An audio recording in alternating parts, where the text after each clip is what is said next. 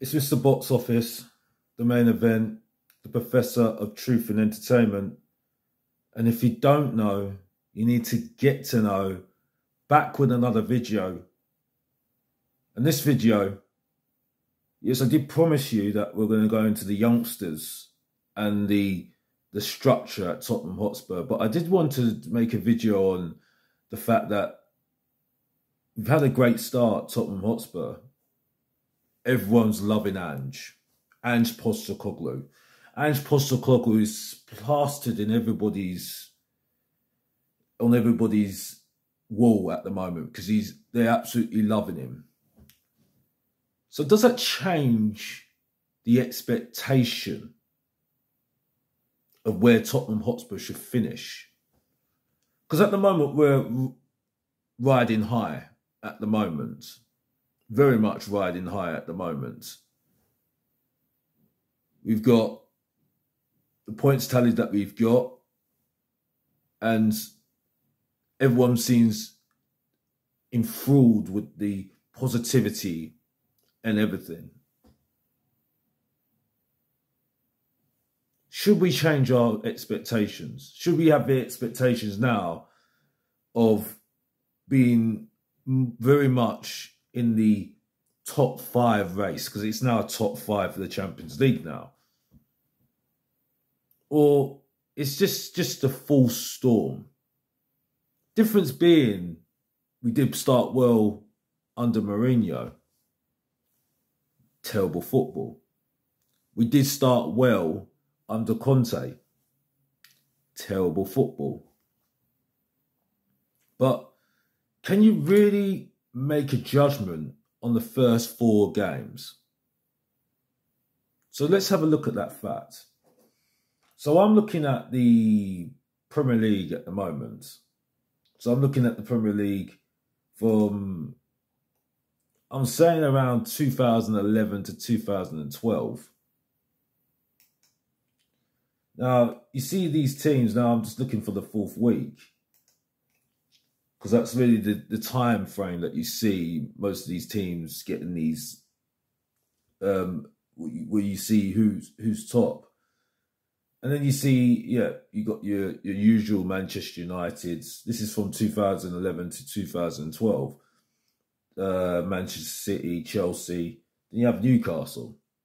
United stoke city in fifth place um, with eight points and eight points. So this is 2011 to 2012. So then we move on to 2012 2013. Fourth week. You see Chelsea there. Chelsea, Manchester United, all the all the regulars. But in fifth place, you see Swansea with seven points and West Brom, West Bromwich Albion with seven points as well, even Everton as well. Where are they now? Where are Swansea City? Where are West Bromwich, Bromwich Albion? Oh yeah, Championship. Oh yeah. So a great barometer there, by the way. Great barometer. So we move on. We move on to 2014, 2015. Got the fourth week. You got Chelsea there. Aston Villa. Aston Villa second with 10 points. Swansea City. Again, where's Swansea City right now? Don't need to say anymore. Southampton. They had seven points, fourth place. Where are they now? Oh yeah, championship. I forgot that. Oh yeah, forgot that. Oh, but uh, I, I get that the enthusiasm. I'm trying to be balanced here. I do hear the enthusiasm because at the end of the day, you see the players very positive. But would you look at those sort of teams, Swansea City, and the likes of Southampton? And Southampton has some very good youngsters at that time as well, bringing up some of the youngsters. This is some of the stuff that we are hearing. We're hearing right now. I've, I've heard that we've got the class of '92 coming up right now especially with the, the old guard going, and they are going. I'm not going to give credit to the club because this should have done a long time ago.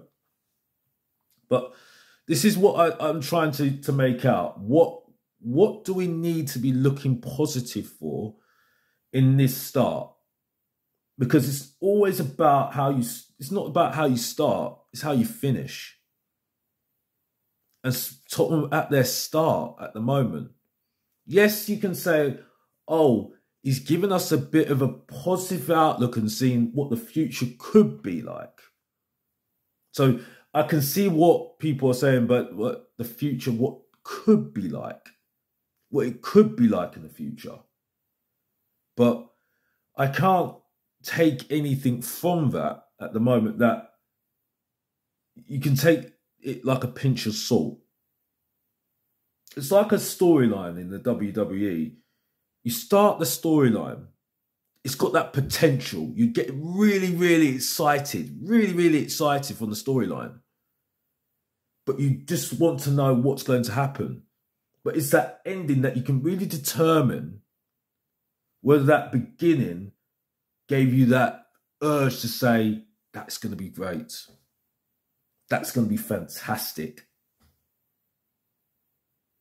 I mean, yes, people will point out, and we'll get to the season. We will get to that season where Leicester City, Leicester City won the Premier League, and they were very much up there as well. And but that was a very strange season. Let's just say that Leicester City um, started um, very well but also had a were fighting were fighting relegation the previous season.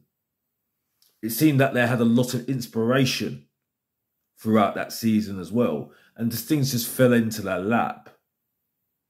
And it was proven the following season because they were fighting relegation, and the rest of the city, Ranieri got sacked. So, is there a argument that Tottenham Hotspur are peaking too soon.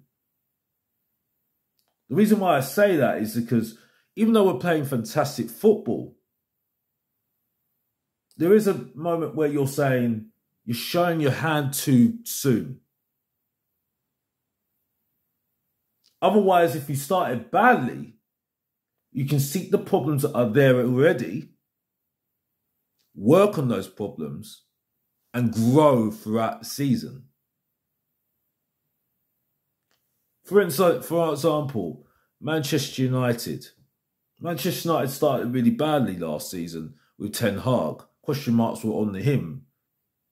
But gradually, they started to get what Ten Hag was all about. And they grew. And what happened? They won the Carabao Cup and got top four that's an achievement in itself in terms of achieving what they needed to achieve to get into where they needed to get to. At the moment, we've got signings like Maddison, who's been absolutely fantastic. We've got Bissouma, who's been vitalised. We've got Sarr, who's got a new lease of life because he's he's been given the opportunity. We've got a signing like Van der Ven, Romero, who's calm as everything. But can you really make a judgment on this team, especially Son, who for me is still got a lot to prove at the moment as a captain? Whether he's going to be the leader through bad times.